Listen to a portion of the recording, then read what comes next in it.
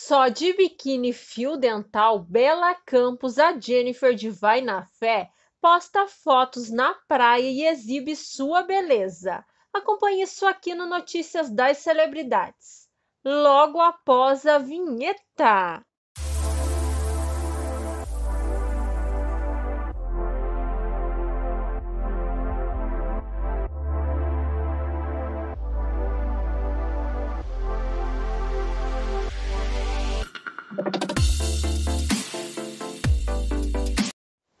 Registro recente, a atriz Bela Campos fez bater mais forte os corações de seus fãs e admiradores ao posar com um biquíni fininho todo azul, esbanjando seu corpaço escultural para as lentes da câmera diante das praias do Rio de Janeiro.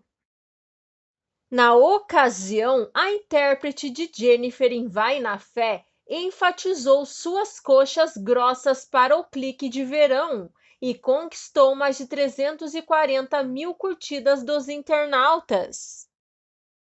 Carioca sim, escreveu Bela Campos na legenda da publicação, roubando a cena com as suas curvas dançantes e fios trançados no registro praiano, além de encantar com a sua beleza natural. Nos comentários, choveram elogios para a atriz.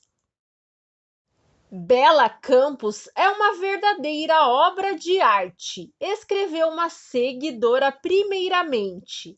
Fico impressionada com a beleza da Bela Campos. Enalteceu outro fã, a sereia mais linda do Brasil. Elogiou uma terceira seguidora.